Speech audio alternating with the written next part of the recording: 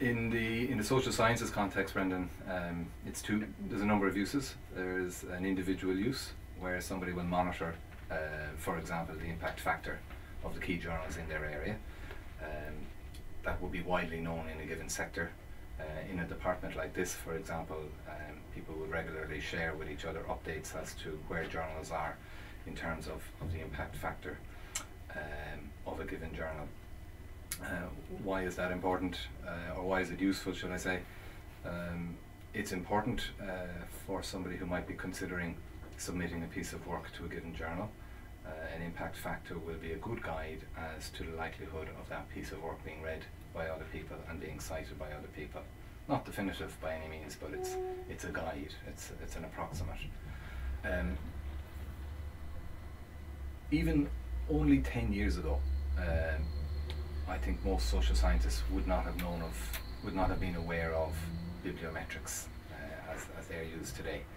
Um, certainly, um, 15 plus years ago, as I was commencing my postgraduate studies, um, we were guided towards journals by our supervisors on the basis that this is a good journal. Um, this wasn't measured uh, in any way. It was, it was an impression. It was a reputation uh, that was built up around a given journal based on the types of people who were writing in it uh, and the type of work that they were publishing. Uh, so this was something that was passed on, if you like, uh, from a supervisor to a supervisee.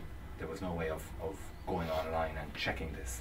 Um, so um, that has changed hugely now, um, and bibliometrics are important in helping us, uh, in helping us, I suppose, understand where a journal sits in the overall scheme of things, given the multitude of journals that are out there.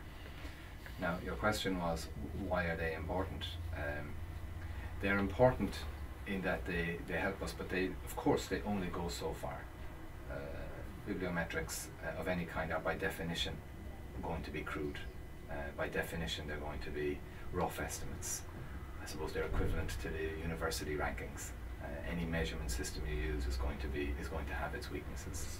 So bibliometrics are important uh, in that they, they provide us uh, with, a, with a rough proxy of the usefulness or the usage of a journal.